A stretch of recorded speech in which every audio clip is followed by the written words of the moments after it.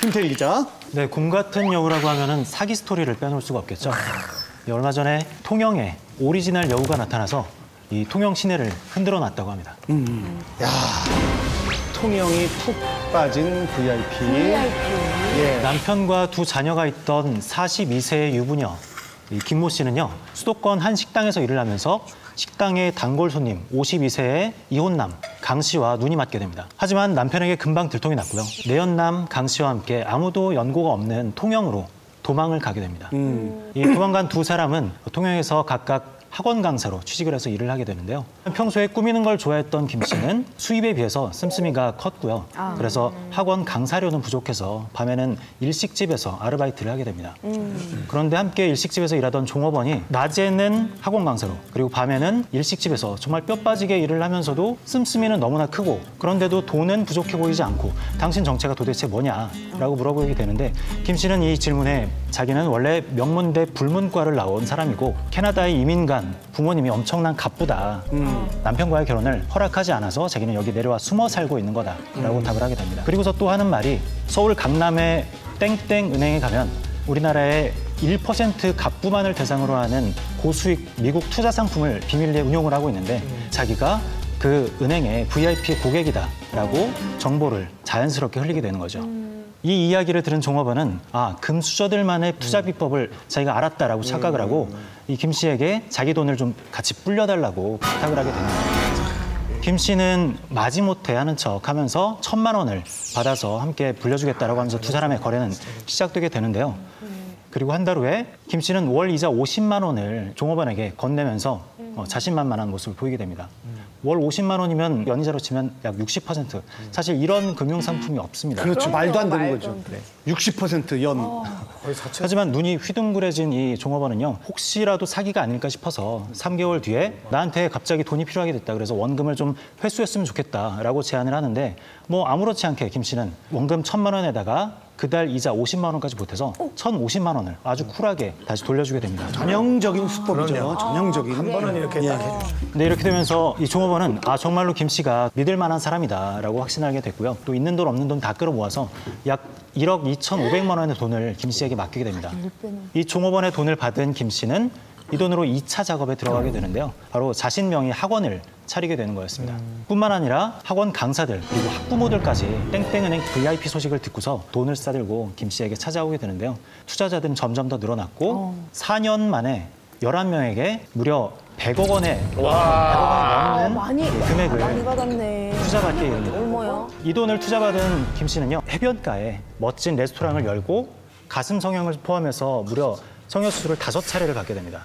그러면서 처음에 통영 내려왔던 본래의 모습과는 아주 다른 모습으로 변하게 되는데요. 그 와중에 김 씨는 은행 총재 같은 사람들하고 수시로 통화하는 모습을 보이면서 사람들의 의심을 피했다고 합니다. 뭐 실제로 은행 총재와 알고 지냈던 사이는 아니고 미용실 원장 같은 사람들의 전화번호를 자신의, 자신의 핸드폰에다가 은행 총재로 등록을 해놓고 일부러 사람들이 많이 모인 테이블 위나 이런 데다 그 휴대폰을 놔두고 화장실에 가는 척하는 거죠. 그런데 어느 날 갑자기 이 김 씨가 종적을 감추게 되는 거죠. 100억 원이 넘는 돈을 받아서 흥청망청 쓰면서 이자 돌려막기 할 어, 자금이 원활치 않아서 어느 날 밤에 예, 야반 도주를 하게 된 건데요. 투자자들은 그제서야 자기가 사기당한 걸 알고 경찰에 신고를 하고 약 한 달 만에 예, 경찰에게 덜미를 잡힌 김 씨는요. 현재 사기 혐의로 구속 수감돼 있는 상태라고 합니다. 김 씨는 나름대로 노력파 사기꾼이었는데요. 예, 매일 아침 일간지의 경제면을 샅샅이 훑어보고 지식을 어, 취득했고요. 사기는 부지런해. 그리고 계속 성형을 한 거 역시 자신의 정체를 숨기기 위해서였다고 나중에 진술을 했습니다. 그 사기꾼 옆에 있던 내연남도 공모를 한 겁니까? 그 내연남 강 씨는 이 사기 행각을 전혀 알지 못했을 뿐만 아니라 자신 역시 김 씨에게 수천만 원을 투자한 피해자였습니다. 자신도 사기를 당한 걸 알고 나서는 이 경찰 수사에 적극적으로 협조를 했다고 합니다. 어, 실제로 김 씨에게 카톡을 보내고 그리고 전화를 걸면서 김 씨의 행적을 추적하는 데 많은 도움을 줬다고 합니다. 사회부의 어, 음지 대표라고 할 수 있는 최호영 기자. 예, 11년간의 긴 연애를 마치고 드디어 결혼 준비에 들어간 커플이 있습니다. 그런데 명문대 출신의 남자친구가 이 결혼을 위한 플랜을 다 세워놨습니다. 이 결혼 과연 누구를 위한 결혼일까요? 명문대 남친의 결혼 플랜. 2006년도에 25살 여성 김 씨는 30살 남성 추 씨를 만납니다. 추 씨는 자기가 고시원에 살면서 교수 임용 또는 취업을 준비하는 대학원생이라고 소개를 합니다. 그렇게 10년 동안 연인 관계를 쭉 유지해 왔습니다. 이제 대학원을 졸업하면서 추 씨가 취업을 하거나 교수 임용을 하려고 하는데 번번이 떨어지는 겁니다. 입사 지원서도 다 떨어지고 교수 임용도 안 되고 여자친구에게 말을 합니다. 네, 교수가 되려면은 좀 대학 쪽에 뒷돈을 찔러줘야 되는데 돈 좀 빌려달라. 그래서 이렇게 선뜻 8천만 원도 빌려줄 정도로 김 씨는 이제 남자친구 출시 뒷바라지를 다 했습니다. 이제 그렇게 10년을 교제하다 보니까 어느덧 김 씨가 35살이 됐습니다. 이제 우리 결혼을 할 때가 됐다. 그래서 남자친구 추 씨에게 얘기해서 예식장을 잡고 결혼을 하려고 하는데 갑자기 청천벽력 같은 소식이 들립니다. 추 씨가 고백을 하는 겁니다. 사실은 얼마 전에 집안에서 재산 분쟁이 있어서 싸우다가 내 이모를 밀쳤는데 이모가 돌아가셨다.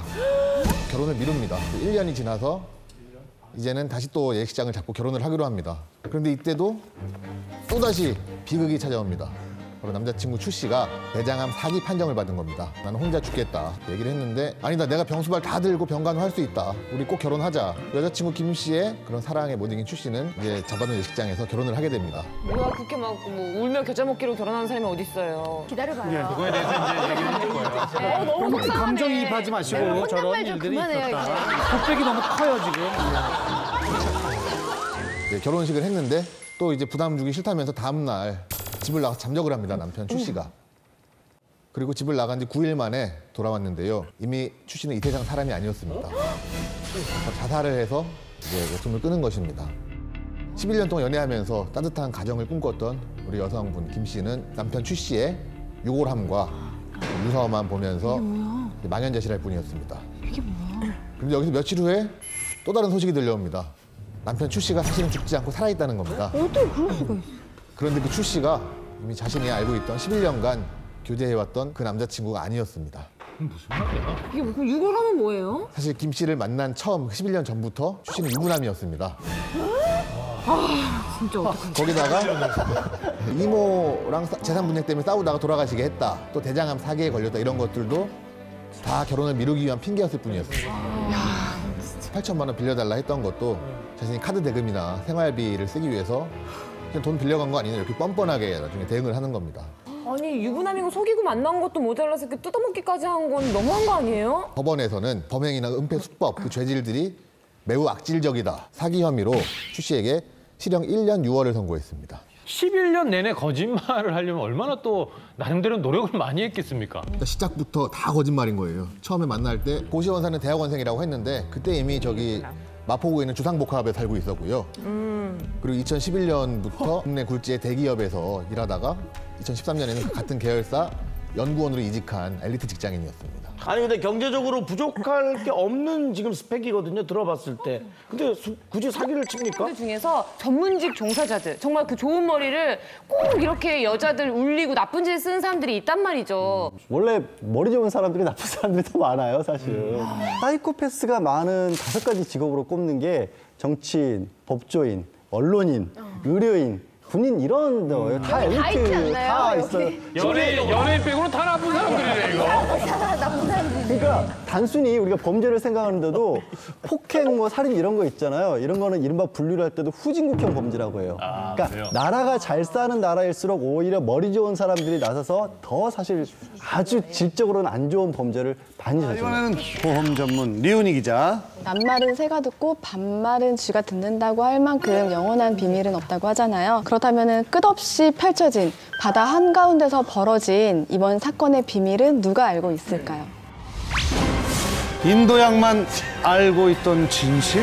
오. 어, 4,000톤 화물선 선장인 52세 남성 김 씨는 이 6명의 선원과 함께 인도양을 지나고 있는 길이었어요. 김 씨는 화물선에 시가 25억 원어치에 달하는 그 화물들을 싣고 운행을 하고 있었는데 그날따라 바람이 좀 거세게 불더니 파도가 점점 커지는 거예요. 이때 배가 심각하게 기울면서 컨테이너들이 한쪽으로 기울기 시작했고 배에서 갑자기 쿵 하는 소리가 들리는 거예요. 그리고 살펴보니까 한쪽에 좀 심하게 균 열이 발생을 한 거예요. 그리고 바닷물이 배 안으로 점점 들어오기 시작합니다. 이제 선원들하고 선장은 이 피해를 최소화시켜 보려고 애써 보았지만은 다 소용이 없었어요. 그렇게 4천 톤의 화물선은 25억 원어치의 이 화물들을 싣고 그대로 바닷속으로 침몰을 해버렸는데요. 선장과 선원들은 가까스로 구명보트에 몸을 싣고 목숨은 건질 수 있었는데요. 근데 심각한 부상을 입어서 한국에 바로 귀국을 할 수 없었어요. 그래서 며칠 뒤에 다시 한국에 돌아왔는데 해운사 대표가 이 침몰한 원인에 대해서도 그리고 이 25억 원의 화물에 대해서도 아무런 책임을 묻지 않는 거예요. 그 러기 쉽지 않은데. 네, 그 이유가 바로 이 해운사 대표는 선장과 선원들은 물론이고 이 화물들 그리고 이 선박에 대해서도 모두 보험에 들어놨기 때문이에요. 이 해운사 대표는 무려 30억 원의 보험금을 지급을 받았어요. 그런데 어느 날에 이 해운사 대표가 보험 사기 혐의로 구속이 돼버려요. 선장하고 이 선원들까지도 조사를 받게 되는데요. 어, 근데 해운사 대표는 당당하게 증거를 가져오라면서 큰 소리를 치는 거예요. 그리고 그런 해운사 대표 앞에 보험사가 증거로 내민 영상이 있어요. 그 영상에는 바로 바닷속에 가라앉아버린 배가 촬영되어 있었어요. 그리고 영상 속을 살펴보니까 바닷속에 가라앉지 않고 이렇게 운행을 할 수 있도록 도와주는 탱크라는 게 있는데 이 탱크란 모든 탱크들에 인위적으로 구멍을 뚫어놓은 자국이 남겨져 있는 거예요. 알고 보니까 이 화물선 침몰은 해운사 대표와 이 선장 그리고 선원들이 모두 벌인 자작극이었던 거예요. 그런데 이렇게 이미 인도양 한가운데 배는 침몰되어 있고 모든 증거도 바닷속에 가라앉았잖아요. 근데 보험사가 이거를 어떻게 알아냈을까요? 보험사에서는 30억 원의 거액을 해운사 대표에게 내주고 나서도 너무도 찜찜함을 감출 수가 없어서 인도양으로 갔어요. 네, 인도양으로 가서 수색을 하기 위해서 무려 17명의 다이버를 투입을 했고 3개월의 이 수색 끝에 그 배를 찾아냈어요, 바닷속에서. 그리고 나서 인양 업체를 선정을 해서 무려 5억 원의 돈을 들여서 컨테이너 박스부터 다 들여 올렸어요. 그리고 그 컨테이너 박스를 딱 열어봤는데 텅텅 비어 있는 거예요. 와 뭐예요? 밑장빼기야? 진짜 이건 완전 사기다. 그렇죠. 그래서 이 텅 빈 컨테이너 박스를 시작으로 이 보험사에서는 아 보험 사기다라는 확신을 했고 이때부터 이제 수사에 박차를 가하기 시작했는데요. 선박 보험 사기 전문만을 다루는 법무법인을 섭외를 했어요. 그리고 이 법무법인에서는 다시 또 증거들을 다 하나하나 찾아냈다고 합니다. 조사팀이 그렇게 인도양에 머문 기간만 무려 6개월에 달했고요. 다이버들한테 들어간 돈이며 이 변호사한테 들어간 돈까지 모두 더하면은 한 10억 원 정도는 들 었을 거라고 추정을 하고 있어요. 그렇게 뛰는 사기꾼 위에 이 나는 보험사의 활약으로 이 해운사 대표하고 선장은 징역 2년에 집행유예 1년 그리고 이 선원들까지도 징역 1년을 선고받게 되는데요. 이들 모두 보험금 반환 처분도 내려지게 됩니다. 별이별 보험 사기 그 스토리를 많이 들었지만 스케일이 이번에는 굉장히 크네요. 어떻게 좀 이런 일을 애초에 계획을 한 걸까요? 음, 이 해운사 대표하고 선장은 이번 보험 사기가 처음이 아니었어요. 어, 그러니까 자동차 보험처럼 이 항해 중에 선박을 일부러 고장낸 다음에 보험금을 좀 10억 원 정도 챙긴 일도 있고요. 그리고 항해 중에 일부러 선장실에다가 고의로 불을 질러서 30억 원의 보험금을 청구한 이력도 있어요. 네, 보험사에서는 이 해운사 대표와 이 선장을 블랙리스트에 올려두고 되게 면밀하게 살펴보고 있었던 그 상황이었어요. 보험 사기계에서 이 정도 큰 손이라면 이번 사건도 사전에 계획을 뭐 정말 제대로 세웠을 것 같은데요? 네, 이번 침몰 사기에 사용된 배는 일단 40년 된 노후화된 배였어요. 더 이상의 운행도 힘들고 팔려도 정말 값어치가 없는 배였는데 이 40년 된 배를 좀 리모델링을 해서 10년밖에 안 된 배로 둔갑시킨 다음에 보험에 거액의 가입을 시켰던 거예요. 이들이 이렇게 대범할 수 있었던 거는 인도양이라는 바다 한가운데서 난 사고니까는 보험사가 조사를 나올 수 없다라는 점을 철저하게 악용을 한 거였죠. 사실은 10억이면 적은 돈이 아니잖아요. 그죠? 그 시간도 걸릴 거고. 근데 어떻게 그런 확신이 있어서 하게 됐을까요? 뭐 제보가 있었을까요? 네, 사고 당시 다 똑같은 부위를 다쳤었고 또 심각한 부상을 입었다고 했는데 막상 그 입원한 병원에 찾아가 보니까 심하게 다치지도 않았어요. 경미한 부상이었어요. 근데 거액의 보험금을 탄핵했던 거고요. 또 무엇보다도 그날 날씨였어요. 그렇게 파도가 높았고 안 좋았다라면 다른 배들도 사고가 있었어야 되는데 다른 배들은 다 멀쩡했거든요. 아니 근데 그 전에 저질렀던 사기 행각들이 있잖아요. 10억에 30억에 또 30억이니까. 그럼 그 전에 받았던 돈들도 다 반환해야 되지 않을까요? 맞아 맞아. 네, 화물선 침몰이 밝혀지면서 그동안 물증이 없고 심증만 있었던 과거의 사건들도 다 진술을 했거든요. 그래서 해운사 대표에게는 100억 원 가량의 구상권이 청구가 됐어요. 예전 사건까지. 그래서 해운사 대표가 이제 보유하고 있는 모든 배가 다 보험사들의 압류가 됐습니다. 아, 망했네.